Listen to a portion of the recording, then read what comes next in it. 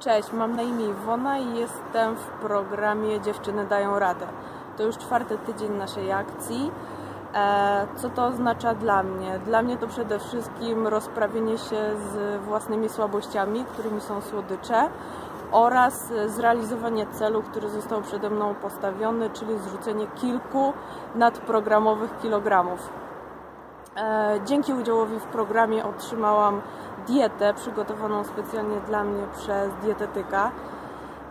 Co mnie mocno zaskoczyło, to że posiłki są bardzo urozmaicone. E, czas ich przygotowania nie zajmuje więcej niż 25-30 minut, co przy bardzo intensywnym trybie życia jest naprawdę niezmiernie istotne. Do tego przekąski, które mogę sobie sama komponować i wybierać z listy, naprawdę fajna sprawa. Do tego intensywne treningi, które mam trzy razy w tygodniu z moją trenerką Olą. Zaczęłam jeździć na rowerze oraz czasami zdarza mi się pobiegać.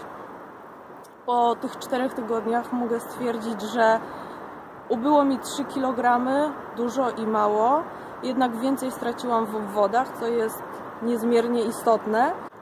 Jednak z rozmów z dietetykiem wynika, że przybywa mi mięśni, które ważą zdecydowanie więcej niż tłuszcz, który y, miałam, tak? który sobie wyhodowałam.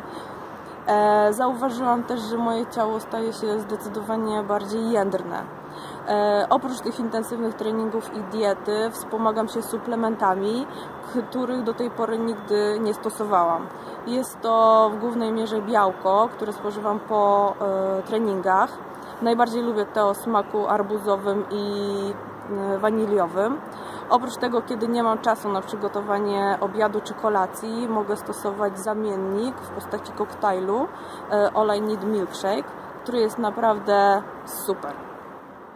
E, myślę, że te trzy rzeczy, jak dieta, suplementy, treningi, spowodowały, że wskoczyłam na właściwe tory, dostałam kopniaka, jestem gotowa do działania i naprawdę polecam wszystkim taki zestaw. Naprawdę warto. E, mam nadzieję, że te 5 tygodni, które pozostało do zakończenia akcji, pozwoli mi zrealizować cel, który został przede mną postawiony. Nie ukrywam, że ambitny cel i schudnąć 10 kg.